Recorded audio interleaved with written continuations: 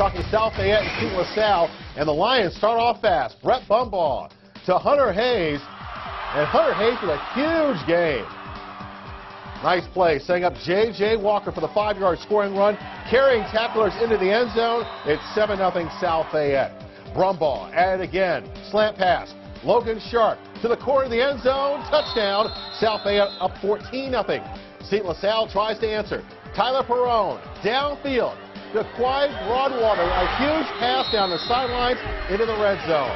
The Rebels knocking on the door. The handoff to Ricky Mellick.